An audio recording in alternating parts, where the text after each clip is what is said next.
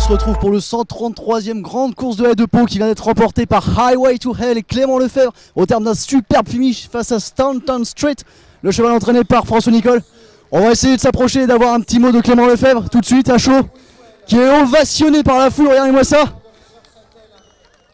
Félicitations Clément Superbe course Ah quel cheval Quel cheval Oui, exactement. J'ai rien inventé. hein. C'est son entraîneur, son ancien jockey, Adrien Marienne, qui a fait beaucoup de travail. C'est encore un cheval compliqué, même s'il vieillit. Mais il a fait montrer aujourd'hui qu'il avait beaucoup de potentiel. Je l'avais monté une fois l'année dernière dans la grande course de de Compiègne. Il n'était pas en forme. C'est ce que son entraîneur m'avait confié avant la course et il s'est pas trompé. Aujourd'hui, il était en forme et il y avait lui et les autres. C'était quoi tes sensations? C'était la première fois que tu le montais? Je l'avais monté une fois, comme j'ai dit, à Compiègne. Les sensations aujourd'hui étaient beaucoup, beaucoup meilleures. Franchement, un cheval avec beaucoup plus d'envie, beaucoup plus aérien dans sa façon de sauter et dans, dans son comportement sur le plat. Et pour- surtout pour finir. L'autre jour, il avait fini dans une action euh, un petit peu raccourcie et sans, sans accélérer. Et là, on a retrouvé le bon cheval. Il a vraiment sprinté pour finir. Autrement dit que de bonnes choses pour le futur quoi. Exactement. Bravo. Et je suis avec Didier Guitlen, l'heureux éleveur de Highway to Hell qui vient de gagner le 133e, la 133e grande course de haie de Pau. Monsieur Guitlen, d'abord félicitations. Je pense que c'est vraiment génial là, ce qu'il vient de faire. Eh c'est génial parce que déjà on est dans le sud-ouest, c'est chez nous et, gagner, gagner dans notre pays c'est fabuleux. Euh, donc, donc on ne peut être que ravis. Est-ce que vous pouvez nous raconter un petit peu la petite histoire de ce cheval? Bah, ben, avec ma femme, euh, donc on, élève dans le Lot à côté de Rocamadour et à la Capelle Marival et donc on- nous avons des anglo-arabes, des arabes, des pur sang et des AQPS. Et donc son frère a gagné il y a deux jours euh, en Irlande euh, pour Willie Mullins.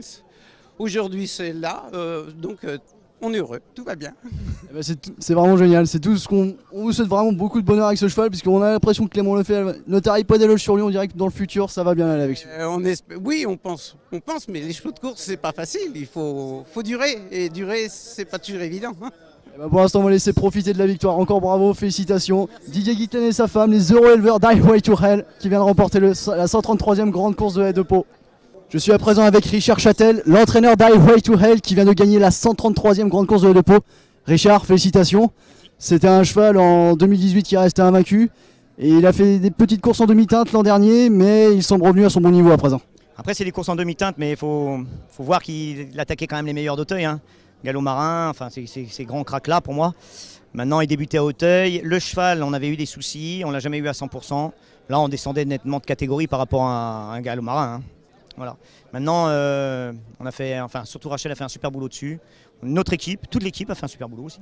Et euh, on, voilà, on est en train de retrouver le cheval. Il n'est pas encore à 100%. On est en train de le retrouver seulement. Pas encore à 100%. hein. Ça laisse présager de belles choses alors pour. euh, Il est loin d'être à 100%, on l'avait pas affûté, c'était pas un objectif en soi. On savait qu'avec la classe, il pouvait gagner, mais c'était pas un objectif en soi.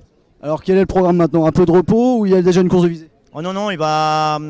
Soit on va aller sur le steeple, soit on va rattaquer les, les- les- les bons à Compiègne.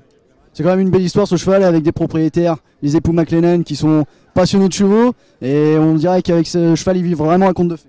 Ah oui, ce, cheval-là, c'est une grande histoire. hein. Il est. On va, on va, on va pas tout raconter parce que ça va être long, mais c'est un.